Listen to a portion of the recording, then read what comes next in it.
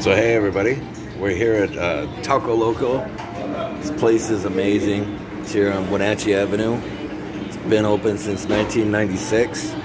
And Brad, tell them what we got. ginormous burritos that I'm not gonna be able It's called the Wet Burrito, carne asada. Put your hand next to it for size reference. Pretty big burrito, huh? Are you hungry?